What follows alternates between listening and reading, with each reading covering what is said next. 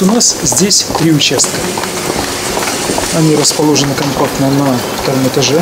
Дом культуры «Заречье». Ажиотажа нет, как и времени на отдых у представителей участковых территориальных комиссий. Несмотря на рабочий день, избиратели приходят исполнить свой гражданский долг. За три часа работы в УИК номер 2072 проголосовали почти 150 человек.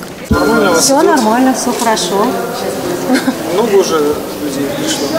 Вы знаете, уже практически 30. Ну, это не показатель, еще подождем. Да, еще понятно. Да, это утро еще, сейчас 11 часов. Ну, ждем после рабочего дня.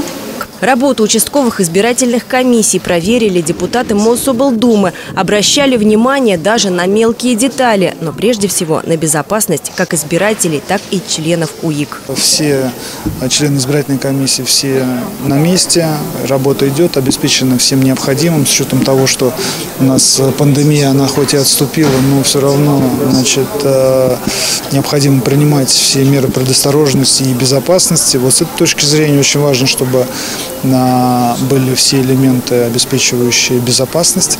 Уроки в начальной школе сегодня в привычном формате. Остальные учатся онлайн.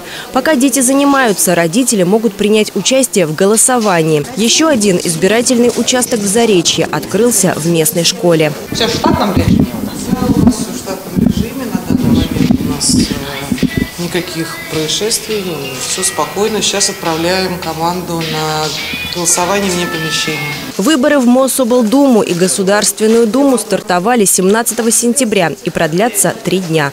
График работы участковых избирательных комиссий традиционный с 8 утра и до 8 вечера. Все абсолютно в штатном режиме, все то, что все требования, касаемые законодательства, здесь соблюдены. Поэтому я считаю, что да, у нас три дня голосования, сегодня рабочий день, еще два дня выходных, плюс есть вечернее время после работы.